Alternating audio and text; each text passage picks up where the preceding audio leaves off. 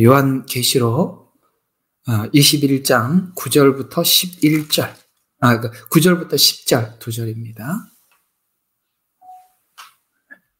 예, 요한 계시록 21장 9절에서 10절 우리 함께 합독하시겠습니다. 시작. 자, 그가 나를 그가 영안으로 나를 이끌어 크고 높은 산으로 가서 그 큰 도성 거룩한 예루살렘이 하나님께로부터 하늘에서 내려오는 것을 보여주니 하나님의 영광이 있어 그 도성 광채가 가장 귀한 보석 같고 벽옥 같으며 수정같이 맑고 아멘. 예, 9절부터 10절인데 10, 10 절에서 11절을 읽었네요. 아, 이런 날도 있습니다. 그러니까 읽은 거 앞에 다시 여러분 눈으로 확인하시면 되겠습니다. 오늘 이렇게 기도 중에 우리가 하나님 앞에 언제까지 모일지 모르겠습니다. 아, 또 하나님 이렇게 우리에게 말씀을 주실 때 여러분들이 이렇게 어, 이렇게 풍성하게 받기를 또 기대합니다. 어, 저는 이렇게 중국 선교를 하면서 중국 선교를 하면 어떤 나라든지 선교사가 돼서 가면 그 나라 역사를 반드시 공부를 해야 합니다. 그 역사를 공부하다 보면 그 나라 역사 속에 흘러, 흘러내려오는 과거의 악한 영이 어떻게 이 나라를 집어삼켰나라는 것을 보게 됩니다. 그래서 지금 현재 어, 현재 그 문화가 무엇 때문에 어떤 영향으로 인해서 지금 형성되었고 그렇다면 어, 이 상태에서 우리가 어떻게 접근해 들어가야 하는가라는 이렇게 방법이 나와요. 그러니까 방법을 알고 가는 게 아니라 가서 공부를 하고 어, 접근을 어떻게 해야 하는지 또 어떻게 어, 이 지금 이 문화 속에 들어가서 이 복음을 심어 해야 심어야 하는지를 이렇게 공부를 하게 됩니다. 네, 특별히 이제 중국 선교를 하면서 어, 저희들이 이제 중국 역사를 공부를 쭉 하다 보니까 어, 우리가 필연적으로 중국을 연구를 하다 보면 여러 가지가 우리가 반드시 점검해야 될 부분이 나오는데 하나는 문화 대혁명 이전의 중국의 모습과 문화 대혁명 이후의 중국의 모습 그리고 공산당이 들어서고 난 이후에 현재 그들의 모습들 이런 거 그것들이 이제 지금 옛날부터 역사 속에서 배어 내려온 것, 그 다음에 현재 정치 체제 이런 것들이 막 짬뽕이 돼갖고 지금 현재 사람들이 그 중국 사람이라는 중국 사람에게 형성이 되어 있는 거거든요. 어, 이 동양 사람들이 가지고 있는 기본적인 그 사고는 굉장히 영적 영적 사고를 하는 사람들입니다. 이 동양계 사람들이. 그러다 보니까 일본에도 신이 많고 한국에도 옛날에 샤머니즘적인 성향이 강했지요. 그래서 뭐 뭘 이렇게 우리 할머니들이 얘기하는 거 보면 복잡해요. 뭘 하면은 그렇게 하지 마라. 그렇게 하면 뭐가 된다. 뭐 하지 마라. 뭐 하지 마라. 왜 그러냐면 다 그게 무슨 샤머니즘적인 그 이유들이 있더라는 것이죠. 어, 뭐 베트남이 그렇고 모든 동양 동남아시아 쪽이 대개 그 성향이 강합니다. 일본은 세계에서 신이 가장 많기로 유명한 나라이기도 하죠. 어, 원래 그래서 우리 이제 중국 영화 보면 옛날에 강시 영화가 나오잖아요. 그게 이제 중국 귀신인데 그 중국 귀신은 문화 대혁명 전에 그런 귀신을 굉장히 잡신을 많이 섬겼던 겁니다. 근데 이제 공산당이 들어와서 문화 대혁명이 그 모태똥이가 자리를 잡으면서 두 가지를 해결을 했습니다. 중국에 정말 골치 아픈 두 가지. 하나는 뭐냐면 이 잡신을 없애버렸어요. 여러분 아시다시피 공산주의는 무신론이에요. 그렇죠? 어, 중국에는 이 무신론이라는 억압된 그런 그 잘못된 어떤 신에 대한 이해를 해결해야 되는데 모태똥이가 와서 이걸 깨끗하게 해결하는 바람에 얼마나 감사한지 신은 없다 그래서 귀신이 다 사라져 버렸어요. 그 많던 귀신들이. 두 번째, 뭐 어떤 문제를 해결하게 되었느냐면은 중국이 굉장히 언어가 복잡한 나라입니다. 지금은 우리가 보통화라는 중국어 하나만 사용하지만 과거의 중국은 산 하나만 넘어가도 말이 틀려서 커뮤니케이션이 안 됐어요. 근데 이제 모든 그런 언어들을 다 없애버리고 보통화라는 중국어만 쓰게 만들었습니다. 여러분 선교사들에게 이것처럼 반가운 게 없죠. 예, 그렇잖아요. 어, 중국어만 하면 전국과 어디를 가서도 말이 통하니까 그걸 할 수 있도록 장을 열어놨죠. 또 하나 귀신을 섬기면 이 잡신을 버리고 예수님을 믿게 하려고 그러면 이게 얼마나 작업이 보통 어려운지 몰라요. 근데 이 모태똥이라는 이 사람이 우리가 볼 때는 참 못된 짓을 했다라고 생각하지만 그렇게 막 중국을 막 이렇게 막 몰아붙여서 이 두 가지를 정말 그렇게 강하게 해서 해결을 해버린 거예요. 가서 무신론이니까 거기다 예수님만 딱 믿어, 믿게 얹어주면 되는 거죠. 만약에 귀신을 섬겼던 귀신을 몰아내고 얹어줘야 되는데 이게 이미 그 작업을 해둔 바람에 우리가 성교하기가 그렇게 좋았어요. 우리가 볼 때는 이런 모든 것들이 그리고 그 무신론이 얼마나 강력하게 중국에서 이 정책이 강력했던지 아주 그런 이야기를 했습니다. 누가 예수 믿는 사람 하나만 데리고 오면 내가 원하는 대로 포상을 해주겠다라고 그렇게 자신만만하게 기독교를 다 없앴다고 생각을 했었습니다. 중국에서. 그런데 웬일입니까? 덩샤오핑이 이제 개혁 개방 정책을 펴면서 어, 이제 교회를 이제 허가를 해줬잖아요. 그랬더니 교회를 세웠더니 세상에 문화 대혁명 이전에 그 믿는 숫자보다 세상에 200배가 부흥해 있었어요. 말로 표현은 안 했지만 마음에 믿고 있었던 겁니다. 이해가 가죠? 종교라는 것이 그렇습니다. 기독교는 그렇습니다. 우리가 편안하면 복음이 전해지고 편안하면 이 복음이 안정적으로 전할 것 같지만 우리가 어려운 일이 우리 어려움이 앞에 다가오고 있고 그 위기를 느끼는 순간 예수를 허, 그러니까 허술하게 믿던 사람들이 강하게 예수님을 붙잡게 되어 있습니다. 그래서 정치 세력들이 겉으로 봤을 때는 예수 믿는 사람이 싹 사라진 것 같아 보였지만 암암리 이 복음은 전해지고 있었고 상상 상상을 초월하는 인구들이 많은 사람들이 예수님을 영접하고 믿고 유지하고 있었다는 것이죠. 이런 걸 보면 우리는 7년 환란이라는 시간이 무엇을 하는지 우리가 감을 잡을 수가 있습니다. 어, 이렇게 7년 환란을 설명을 하다 보면 가끔씩 이런 분들이 계세요. 7년 환란 중에 무슨 구원이 있겠습니까? 7년 환란 중에 먹을 것이 없어서 사람들이 죽을 지경인데 뭐 이런 이야기를 하시는데 여러분 먹을 것이 없는 것과 믿는 것은 다른 것입니다. 도리어 우리가 환란기를 통해서 우리의 신앙이 훨씬 더 정년, 정년되고 어중간한 믿음들이 하나님 앞에 분명히 세워지는 시간이 것입니다. 그것이 중국이 보여준 중국 역사가 보여준 이 7년 환란을 어떻게 이해할 것인가를 우리에게 감을 잡게 만드는 것입니다. 이런 것처럼 우리는 오늘 이제 요한계시록 21장을 우리가 함께 나누면서 이제 이 정결한 신부에 관한 이야기들을 몇 시간 여러분들과 함께 하면서 우리 지나가고 있는데 오늘 이 내용을 통해서 우리가 이 환란기가 정말 이 시간을 어떻게 보내나라고 생각하겠지만 그렇지 않습니다. 어, 저희들이 이렇게 참 중국 성교를 하면서 이렇게 성경을 보는 눈이 참 많이 열렸거든요. 어, 이게 이제 성교지에 가기 전에 생각을 해보면 이런 생각들이 참 근심이 많아요. 어떤 근심이 많냐면, 야, 가서 성교지, 성교비를 보내던 분들의 성교비가 끊어지면 어떻게 해야 되나, 뭐 이런 걱정들. 또 가서 뭐 중국 선교사들끼리 하는 말이 있어요. 중국은 하나님이 역사하는 하나님이 역사하는 시간보다 공안이 역사하는 시간이 더 빠르더라. 우리끼리 하는 말들이에요. 하나님 역사보다 공안이 더 빨리 역사하더라. 재미있는 이야기죠. 뭐 어느 날 갑자기 닥쳐서 들어와서 끌고 가는데 하나님이 미리 말해줬더라면 뭘 할 텐데. 근데 하나님이 뭐 말을 해줘도 과연 그럴까? 이렇게 있다가 또 잡혀가기도 하고. 별일들이 다 일어나잖아요.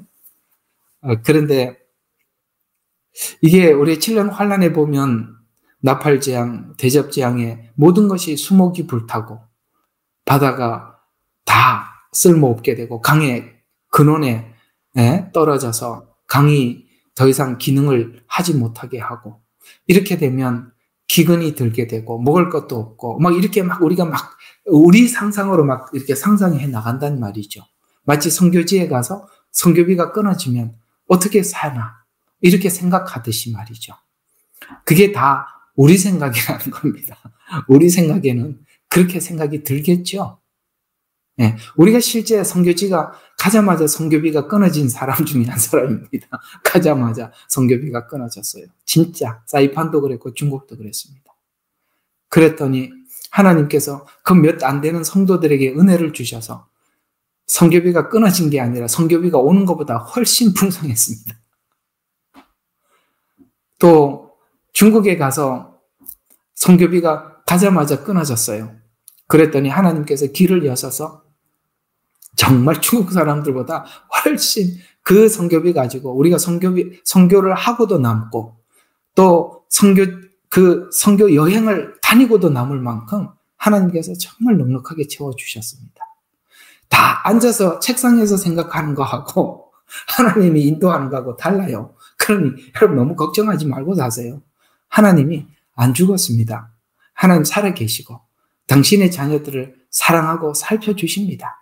그러니 지금 우리가 그게 막상 오지 않아서 걱정을 많이 하고 계시는데 그럴 때 하나님 역사하심을 눈으로 보는 날이 올 겁니다. 그러니 여러분 너무 두려워하지 마시고 편안하게 하나님 앞에 맡기고 가시기를 바랍니다. 아시겠죠?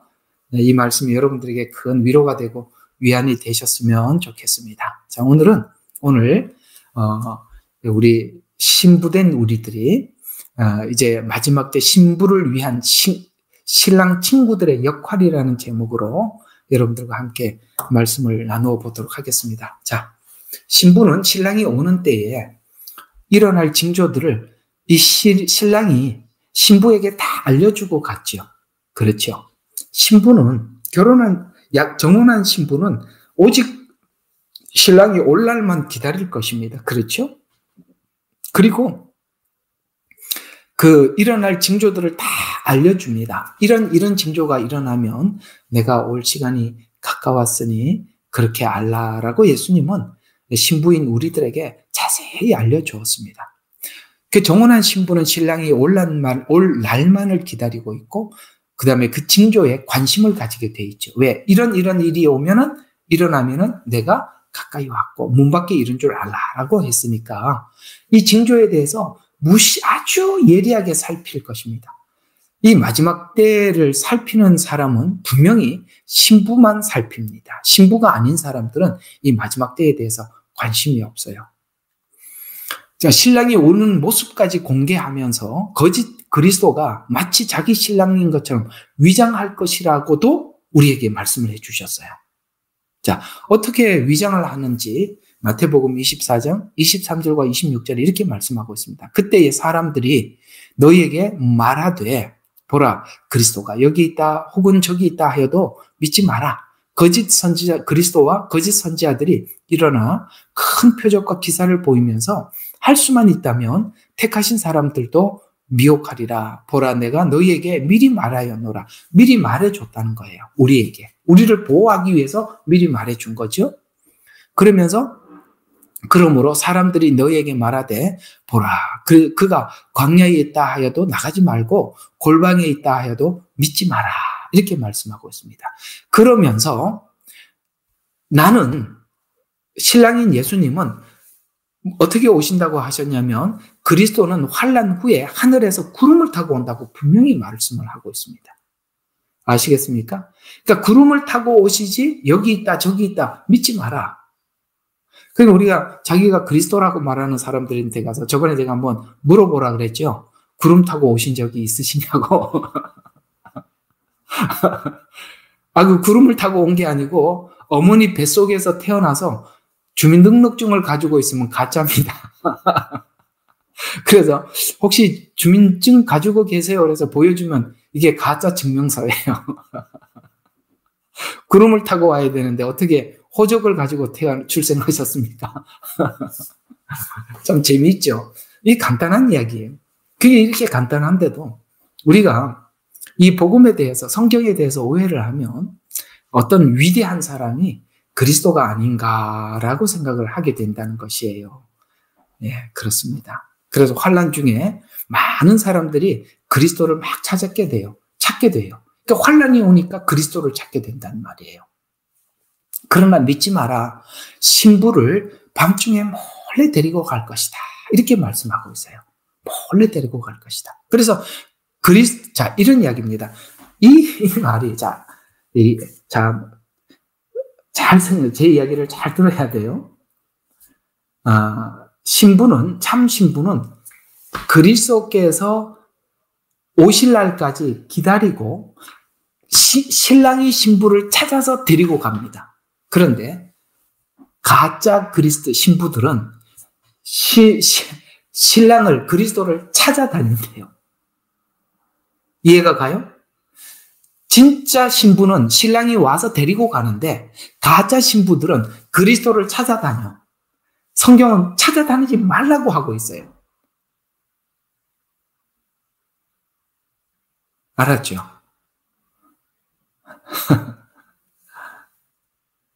신랑이 우리를 찾아낸다고요. 찾아다니지 말라 이 말이에요. 지금 그 얘기 아닙니까? 맞죠? 네. 간단하지만 깊고 깊은 교훈을 주는 메시지입니다. 신랑이 밤중에 오는 이유는 신부를 몰래 데려가기 위함인데요. 참 신부는 신랑이 오는 때를 알고 지금 그 발작 소리를 들을 수밖에 없어요. 데살로니가 전서 5장 5절 4절에서 5장 4절에서 그 다음에 8절까지 우리 요거는 성경을 한번 찾아보십시다. 데살로니가 전서 5장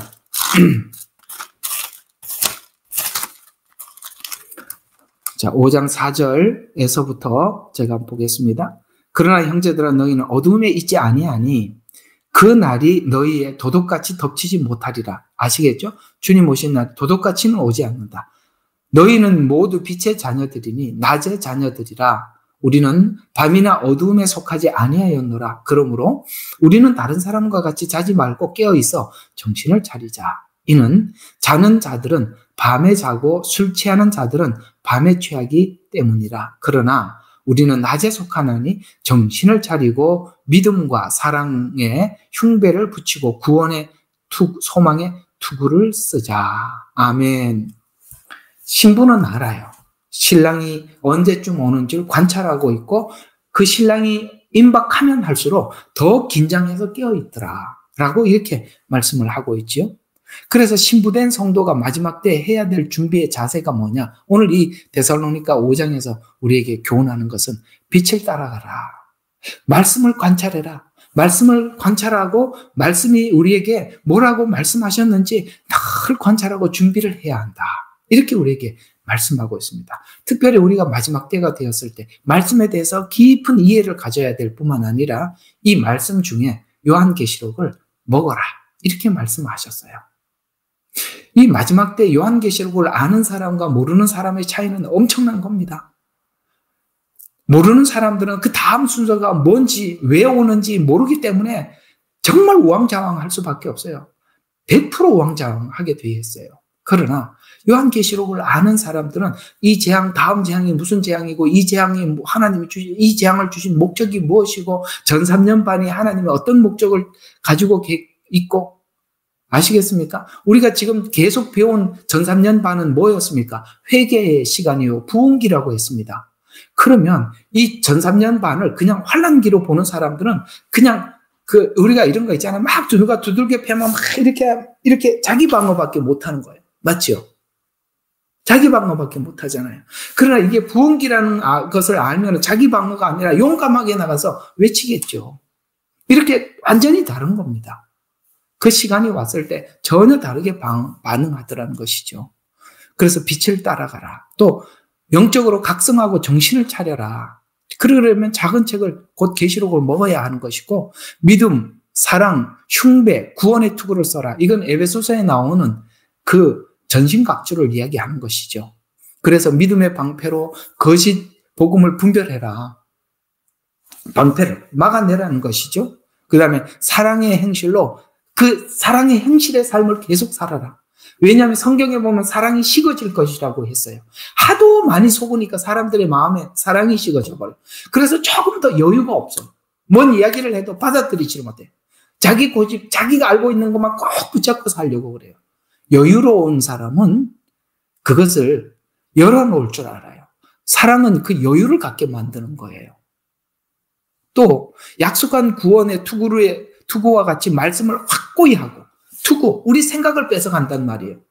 우리 속에 있는 이 머리를 뺏어간다면 생각을 뺏어간 투구를 분명하게 써라. 구원이 어떻게 시작되었고 어떤 과정을 밟고 어떤 결과를 가지고 마지막에 어떻게 끝이 날 것인지에 대해서 구원에 대한 분명한 이해를 가져라. 그 다음에 전신갑주를 입어서 너희 영과 혼과 육을 지켜나가라. 요거 토요일 날 여러분들에게 많이 말씀을 드린 적이 있죠. 영과 혼과 육에 대해서 그 관계에 대해서 말씀을 드렸었습니다. 이와 같이 신부는 신랑을 맞을 예복을 점검하고 그 다음에 입고 있어야 하는 것입니다. 원래 이스라엘에서는 결혼을 하기 전에 그 신부는 신부가 신랑이 온다는 소식을 들으면 혹시나 이 옷에 뭐 묻지는 않았나 이렇게 만져보고 또 살펴보고 입어보고 이렇게 하는 거예요. 그래서 정 내가 혹시나 주님이 오셨을 때 이게 흠이나 점이나 이런 것이 있는가 없는가 이런 것을 살피게 되는 것입니다. 그래서 요한계시록 16장 15절에는 보라 내가 도덕같이 오리니 깨어 있어 옷을 지키어 벗은 채로 다니지 아니하고 사람들에게 자기 수치를 보이지 않는 자는 복이 있도다 이렇게 말씀을 하셨어요. 이건 무슨 이야기입니까? 영적 상태를 유지하기 위해서는 하나님께서 우리에게 주신 의의 옷들을 점검하라는 것이죠. 이것은 바로 이 점검은 회개와 회개의 열매를 점검하기 위해서는 작은 죄 앞에서도 우리가 두려워하는 마음을 가져라 라고 말씀을 하고 있는 것입니다. 혹시나 조금이라도 내 이 옷에 뭔가 티, 튀어, 그러니까 그 뭔가 이렇게 먹물이 튀지는 않았는가? 어떤 죄로 인해서 내가 하나님 앞에 이렇게 뭔가 문제는 있지 않는가? 항상 자기 자신을 돌아보고 또 돌아보고 이렇게 하라라는 말씀이 되는 것입니다. 근데 여기 흰 옷에 대해서 옷을 지켜라고 말씀하고 하고 있는데 옷을 지켜야 되는데 문제는 벗은 채로 다니는 사람이 있대요. 아니 여러분 있잖아요. 옷을 지켜야 되는데 지금 벗은 채로 다녀요. 근데 자기 수치를 보이지 않는 자는 복이 있다고 합니다. 근데 이것을 옷을 지키고 벗은 채로 다니지 않으려면 바로 이 말씀을 우리가 귀담아 들어야 되는 거거든요. 이게 지금 요한계시록 16장에 나오는 말씀이고 이 옷에 대한 이야기가 처음 요한계시록이 시작될 때부터 이 말씀을 한 적이 있어요. 한번 보시죠. 요한계시록 3장 4절과 5절에 보면 사대에 있으면서 자기 옷을 더럽히지 아니한 몇 명이 흰 옷을 입고 있어요. 이 사람들은 흰 옷을 입고 있어요. 이게 뭐냐면 바로 모델이에요. 지금 이 사대 교회에 핍박이 있었어요. 핍박이 있을 때 이 흰 옷을 여전히 입고 자기 자신을 지키는 사람들이 있어요. 그런데 또 이런 사람들도 있어요. 나와 함께 다니리니 이는 그들이 합당한 자의 연고라. 이들이 모델이고 기준이에요. 그런데 이런 사람도 있대요. 이기는 자는 흰 옷을 입을 것이요.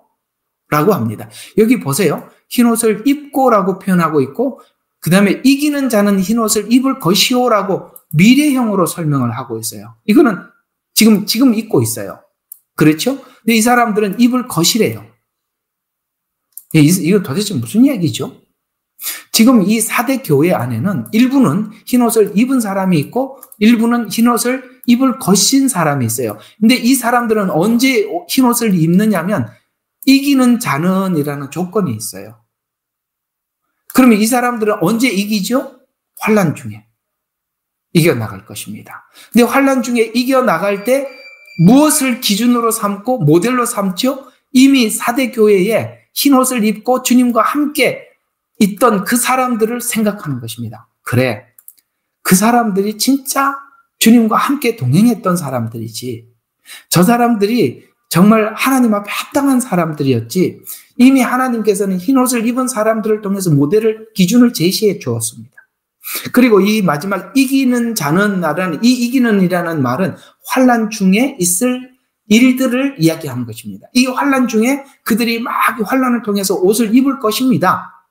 근데 입을 것인데 어떻게 입어야 되느냐를 이미 사대 교회에 흰옷을 입은 자들을 통해서 봤다 이 말이에요. 확인했다는 거예요. 아시겠습니까? 그래서 우리가 신앙생활을 하고 있는 교회 안에서도 누구는 하나님 앞에 흰옷을 입은 사람들의 삶은 이러이러합니다라고 모델을 제시하는 사람이 있는가 하면 아직 그것을 입지 못한 사람들이 있어요. 그들은 환란을 통해서 이기면서 이미 봤던 아, 그 모델들을 그걸 생각을 하면서 입게 될 것입니다. 이스라엘 백성들이 포로로 잡혀갔어요. 바벨론에.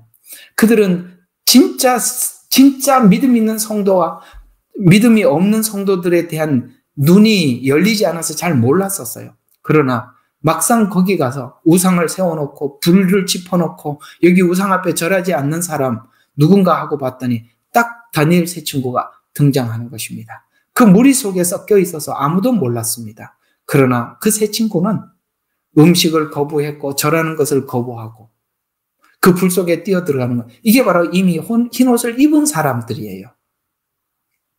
그러나 그 흰 옷을 입은 사람들을 통해서 뭘 하는 것입니까? 그 나머지, 그 나머지 이스라엘 백성들이 바벨론에서 그 모델들을 통해서 그들은 연단이 되고 정결케 되는 것입니다. 바로 이 요한계시록에 들어가기 전에 교회 일부의 사람들 중에 누구는 흰옷을 입고 있는 사람들이 있었고 환란 중에 흰옷을 입을 사람들이 있을 것이라고 둘을 나누어서 사대 교회를 소개해 주고 있었어요. 이미 일곱 교회 안에 이 환란을 통해서 정결케 될 자와 이미 정결케 된 자가 있었다라고 일곱 교회를 통해서 쭉 설명을 해 왔었어요. 일곱 교회가 환란 환란기와 일곱 교회가 따로 떨어진 것이 아니라 이 일곱 교회 안에서 환란기를 지나가는 그래서 이기는 자, 이기는 자 이런 말들은 계속 등장하는 이유가 이 환란기 안에서 하나님께서 많은 일들을 하실 것을 우리에게 예표해 주셨었다는 것입니다. 그래서 내가 그의 이름에 생명책에서 결코 지우지 아니하고 그의 이름이 내 아버지 앞과 그의 천사들 앞에서 시인하리라라고 말씀하고 있는 것입니다. 우리는 아 여러분은 좀 어떤 사람이 되고 싶으세요? 지금 흰 옷을 입고 계셔야 하지 않겠습니까? 환란기 중에 입으실래요? 지금 입어 놓으시겠습니까? 아, 이 말씀 귀다, 귀담아 잘 들어 주시면 좋겠습니다. 똑같이 이 흰옷에 대한 이야기가 또 나와요. 앞에 교회 이야기하면서. 요한계시록 3장 18절입니다. 아까 흰 옷을 입었는데 자기가 흰 옷을 입었는데 하나님께서 뭐라고 하셨습니까? 그 흰 옷을 빨르, 빠르라고 하고 깨끗이 하라 그랬죠. 이 말씀 이렇게 하고 있습니다. 내가 권하노니 아, 계시록 3장 18절에 내가 너를 너를 권하노니 내게서 불로 연단한 금을 사서 이 금은 성막에서 배웠죠. 믿음이라고. 근데 믿음이 믿음을 어떻게 하라고요? 금을 사 사래요. 사라는 말을 잘 기억하세요. 여기는 계속 사라는 말이 계속 등장합니다. 그 다음에 부요하게 하고, 그러니까 흰 옷을 사서 입어 벌거벗은 수치를 보이지 않게 하고 안약을 사서 눈에 발라 보게 하라. 무슨 말이냐면 상대방이 상대방이 지금 자기는 흰 옷을 입고 있다라고 생각하고 있는 사람에게 주는 겉면이에요. 자기는 흰 옷을 입다고 생각을 하고 있지만 뭐라고 권면한 내가 너에게 권면한다. 불로 연단한 금을 사서 부여하게 믿음에서 부여해 져라. 저라. 그 다음에 흰 옷을 사서 아시겠어요? 벌거벗은 수치를 보이지 않게 해라. 안약을 사서 눈에 발라보게 해라. 여러분 왜 사야 합니까? 이게 뭐냐면 여러분 성경에 보면 이런 말씀이 나오죠. 어떤 사람이 길을 지나가다 보화를 발견했어요. 그럼 보화를 발견하면 훔쳐갈 수는 없잖아요. 그러면 그것을 내 것을 삼으려면 어떻게 되줍니까? 내 재산을 팔아서 그 밭을 사야 그 보화가 내 것이 되죠. 어떤 사람 진주를 발견한 사람도 똑같이 그 진주를 사기 위해서 어떻게 했습니까? 내 재산을 팔아서 그 진주를 샀느니라고 했습니다. 무슨 말입니까? 우리가 구원은 은혜로 받았습니다. 이제는 그 받은 구원이 구원, 은혜로 받은 구원에 하나님 요구하는 것이 있지요. 오늘 우리가 예수님과 정략한 신부라면 신랑과 함께 살아가기 위해서 신부가 준비해야 될 것이 있는 것입니다. 그것은 내가 값을 치러야 되는 부분들이 있는 것이죠. 그 치러야 되는 부분이 뭡니까? 성화예요. 이 성화는 필연적으로 사야만이 얻는 것입니다. 근데 문제는 뭐냐면 내 눈이 어두워서 보이질 않아요. 더러운데. 제일 중요한 것은 흰 옷을 사고 금을 사서 부여하게 하려면 가장 먼저 해야 되는 것이 뭐냐면 안약을 사서 눈을 발라서 내 자, 내가 내 자신에 대해서 정확하게 진단을 하는 것이 가장 먼저 있어야 될 일이에요. 맞지요? 이게 눈이 어두우면 지금 더러운지 안 더러운지 내가 분간을 못 하는 거예요. 가장 중요한 것은 먼저 이 안약을 사서 눈에 발라서 정확하게 나를 봐야 돼요. 그래야, 그래야 뭘 하죠? 믿음도 살 수 있고, 그 다음에 옷도 정결하게 할 수 있는 것입니다.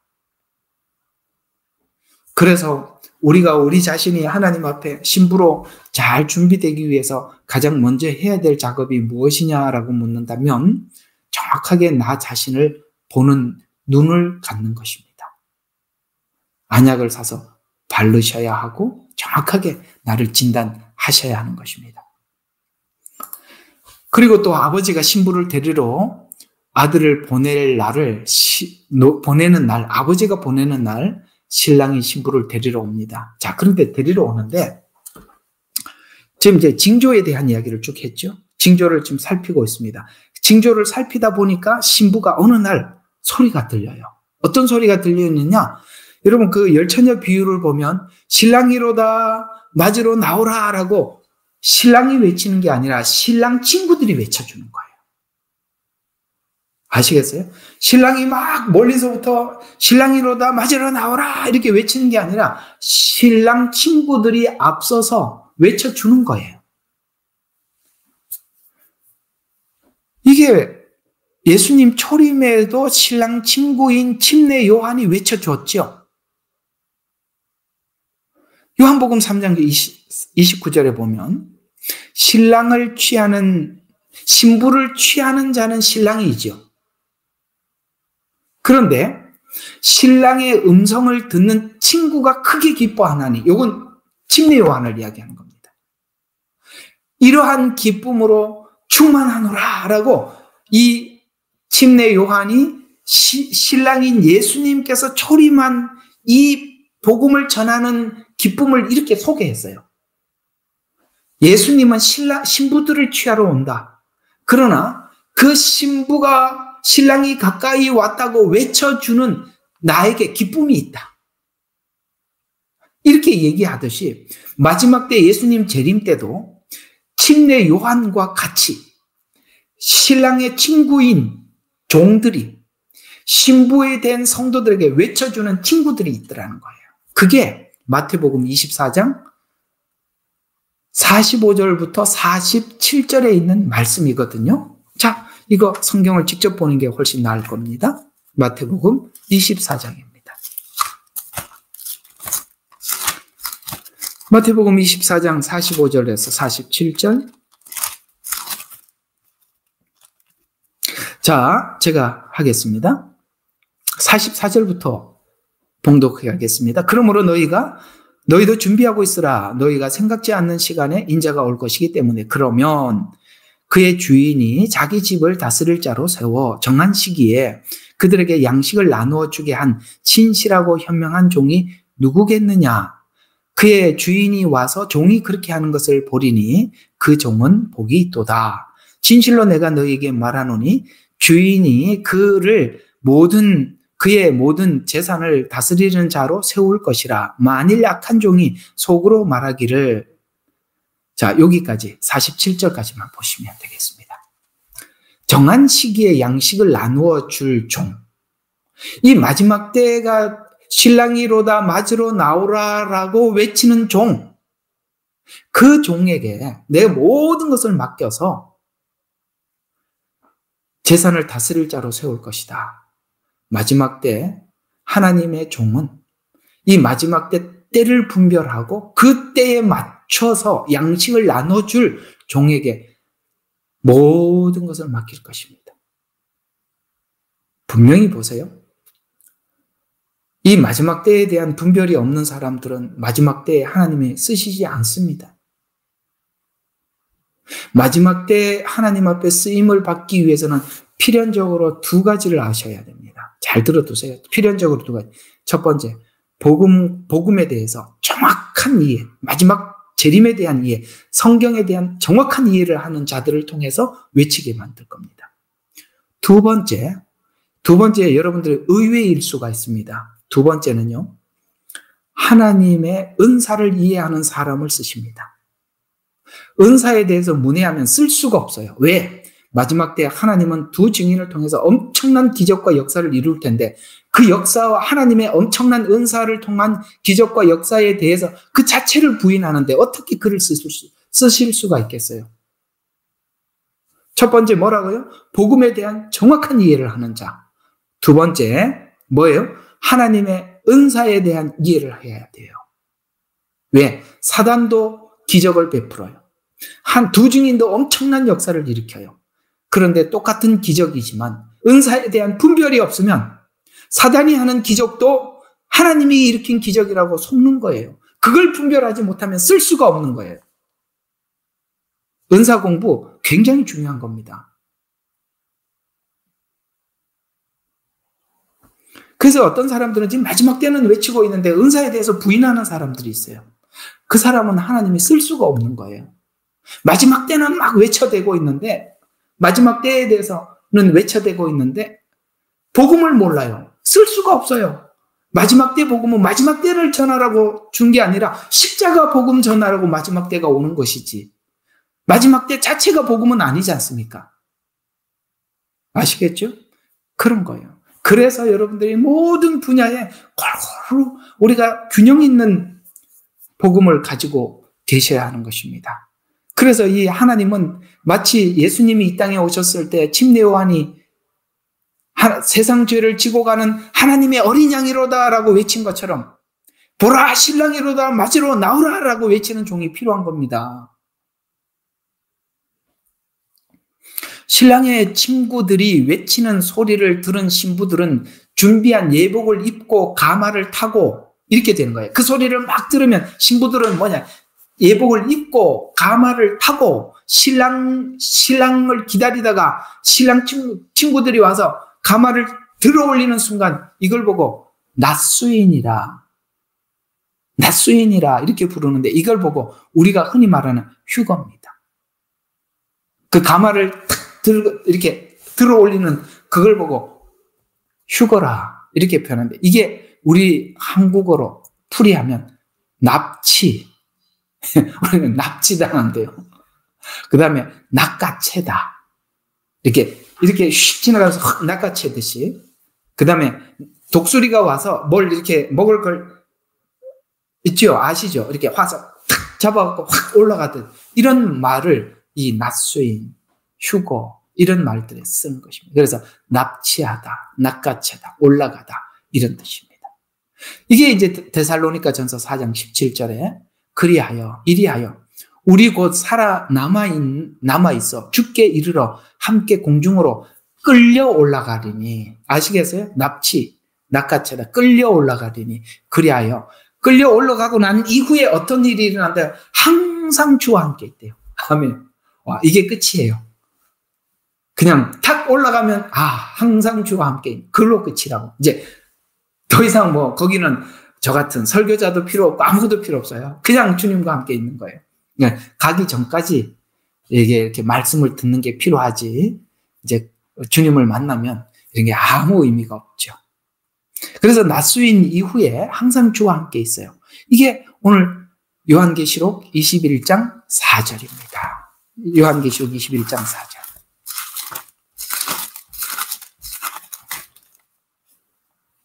하나님께서 그들의 눈에 모든 눈물을 닦아내시며 다시는 사망이나 슬픔이나 울부짖음이 없고 고통 또한 없으리니 이전 것들은 다 사라졌다. 이전 것이라는 말은 두 가지 의미가 있는데 하나는 아담이 죄를 짓고 난 이후에 찾아왔던 것들 뭐 눈물, 사망, 슬픔, 울부짖음, 고통들이에요. 아시겠어요? 처음 우리 모두에게 왔던 거. 그 다음에 신랑이 오기까지 신부가 당했던 고통들이에요. 그때까지 어떤 일이 있었어요? 슬픔이 있었고, 울부짖음이 있었고, 고통이 있었어요. 그래서 주님과 함께 있는 그 순간 다 잊어버리는 거예요. 싹 잊어버리는 거예요. 네. 이게 바로 이제 성경에 보면 세 번째 할렐루야, 할렐루야, 할렐루야, 할렐루야. 이렇게 여러분들과 함께 말씀을 나누었었죠. 이게 바로 세 번째 할렐루야의 의미가 혼인 잔치가 준비되었고 신부를 신방으로 끌어 들어가는 것입니다. 끌려 들어가서 그래서 주와 함께 함께 있는 것입니다. 중요한 혼인 예식은 정혼 때 이미 끝났기 때문에 혼인 때는 그러니까 결혼식 때는 특별한 의식이 없어요. 그러니까 초림 때 이미 정혼해서 결혼식을 다 한 겁니다. 그냥 끌려 올라가서 우리는 이제 우리는 반대죠. 우리는 반대죠. 약혼식은 간단하게, 결혼식은 크게. 유대인들은 그렇지 않아요. 약혼식은 크게, 결혼식은 작게. 달라요. 그래서 이미 정혼식을 할 때 다 했기 때문에 결혼식 때는 바로 신랑이 준비한 신방에 들어가서 그냥 신랑과 함께 그 혼인, 그러니까 그거 무슨 시간이라 그러죠? 미로의 시간이라 그러나? 그 시간을 보내고 보내고 난 뒤에 사람들에게 신부의 얼굴을 보여주는 거예요. 이해가 가시죠? 그래서 내가 어린 양의 자 구절이 그 말입니다. 신부인 어린 양의 아내를 보여주리라 라고 하는 겁니다. 그래서 사람들에게 공개해 주는 것입니다. 신부된 실, 신부된 자들은 신랑이 준비된 집에서 누리는 거예요. 함께. 그래서 10절에 보면 예루살렘이 하나님께로부터 하늘에서 내려가는 것을 내게 보여주니 하나님의 영광이 있어 그 도성에 광채가 이렇게 나온 거죠. 10절을 보면 그렇게 나오죠. 예루살렘이 하나님께로부터 하늘에서 내려가는 것을 지금 요한에게 보여주는데 거기에 뭐가 있어요? 하나님의 영광이 있더래요. 영광. 그 영광들을 이제 보석으로 이렇게 쭉 표현하고 있습니다. 자, 그래서 예수님은 바로 이 집을 준비하러 가신 겁니다. 신랑으로서. 그것이 이제 준비가 다 되면 하늘에서 내려온답니다. 우리 여기서뿐만 아니라 두 군데서 좀 확인을 해 보죠. 어제 아니 아까 21장 8절에서 봤으니까 이사야서 65장을 보겠습니다. 이사야서 65장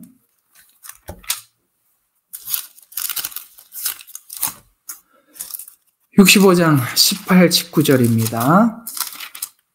자, 18, 19절. 그, 자, 17절부터 한번 보겠습니다. 보라 내가 새 하늘과 새 땅을 창조하나니 이전 것이 기억되거나 생각나지 아니할 것이라. 아멘. 여러분 천국 가서 아, 세상 살면서 고생 고생했던 것들이 또 생각이 나면 얼마나 괴롭겠어요. 그죠? 고생 고생했던 거 생각나면 얼마나 힘들겠어요. 근데 17절에 뭐라고 말했어요? 내가 새 하늘과 새 땅을 창조하나니 이전 것이 기억되거나 생각나지 아니할 것이라. 없대요. 그 다음에 또 뭐라고 이야기하냐? 18절. 그러나 너희는 내가 창조한 것으로 영원히 기뻐하고 즐거워하라. 이 창조한 것, 바로 이 새 예루살렘입니다.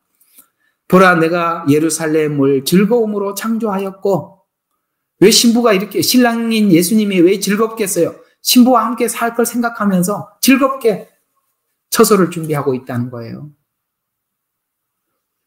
우리 신랑된 형제님들 제 말 이해하지요? 아, 이게 그게 그렇잖아, 그죠? 이게 우리가 이렇게 결혼을 하다 보면은 그런 게 있어요. 결혼을 하는데 참 우리 이제 사모님하고 이렇게 사귈 때 저희들 이제 포항제철이 보이는 조금만 걸어가면 이렇게 포항제철이 쫙 형산강이 펼쳐지는 거기가 이제 저희 교회가 있는 곳이에요. 근데 저희 집은 교회에서 굉장히 멀어요. 아이고, 이게, 이제 헤어지기 싫으니까, 바래다 주면, 또 내가 또 집에 바래다 주고, 또 자기는 또 버스 정류장에 바래다 주고, 그래서 이제 막차, 아, 막차 놓치면 어떡합니까? 근데 이제 결혼을 하니까 이상한 게 뭐냐면, 아니, 결혼을 하고 난 뒤에 집에를 안 가요. 그게 되게 어색하더라고. 옛날에는 꼭 집에 바래다 주고 그랬는데, 뭐 집에를 안 가. 그러니까, 그 집에를 안 가는 걸 보니까, 아, 우리가 결혼을 한 게 맞구나. 싶더라고요. 그 신랑들의 마음이죠. 예수님은 그런 아주 이게 가슴 뛰는 마음으로 신부가 살 집을 지금 기쁘게 준비하고 있는 거예요. 그걸 표현하고 있어요. 영원히 기뻐하고 즐거워해라. 보라, 내가 예루살렘을 즐거움으로 창조했다. 그래서 그 백성을 기쁨으로 창조하노라. 아시겠죠? 우리를 새 사람 만들어서 이 집에 넣을 거 함께 살 생각을 하고 저 그렇게 그래서 이렇게 생각하셔야 돼요. 어, 나는 하나님께 하나도 쓸모가 없고 하나님만 나에게 정말 귀한 분이야. 나는 별 볼 일 없는 인간인데 라는 생각을 접으시라. 우리가요, 예수님 앞에 얼마나 귀한지 몰라요. 한번 생각해 봐요. 신부된 자가 신랑인데 결혼을 하는데 저 같은 쓰레기를 데리고 가시다니. 이렇게 생각하면서 가는 신부가 어디 있어요? 감사합니다. 저 같은 걸, 저 같은 쓰레기를 받아주시다니. 이게 아니라 예수님에게 우리도 너무 소중한 존재라고요. 아시겠죠? 예, 왜요? 사랑하니까.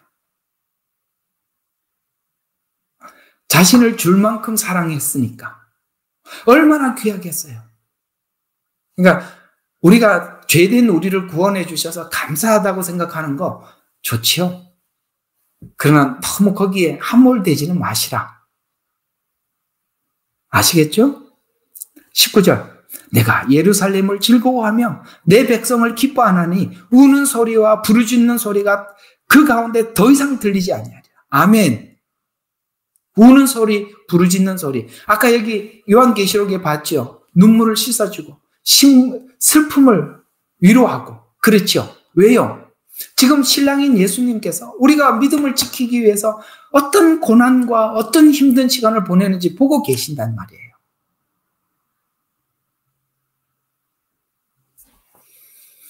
자, 오늘 이야기들을 정리 한번 해볼게요.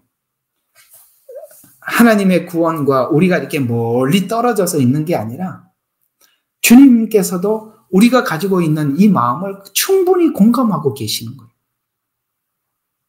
그리고 우리가 이기는 모습을 보고 예수님은 하늘에서 박수를 치고 너무너무 기뻐하시는 거예요. 그래.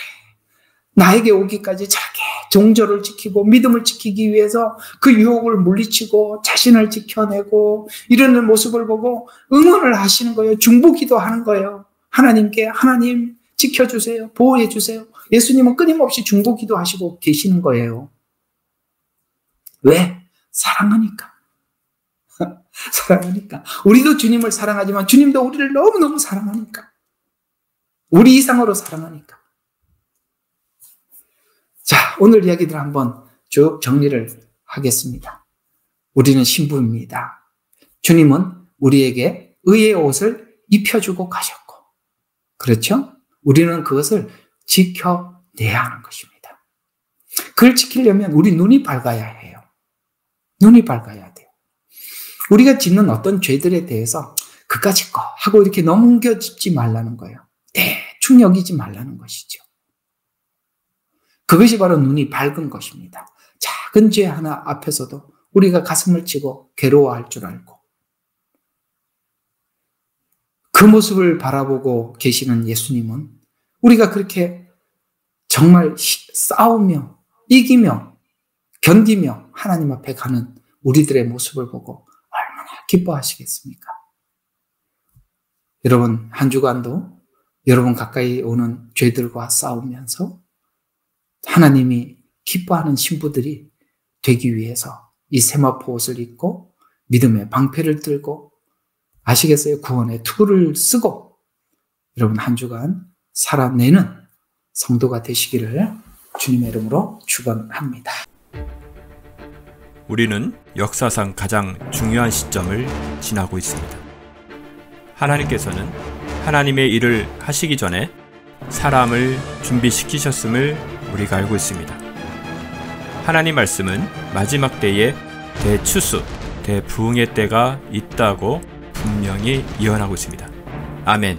하나님의 말씀이 그대로 성취될 것을 믿습니다. 예레미야 눈물은 잠자는 교회와 영혼을 깨우기 위해 노력하고 있습니다. 이 가슴 뛰는 일에 함께 하길 원하시는 분은 카카오 채널로 연락 주시기 바랍니다. 당신은 위대한 하나님의 사람입니다.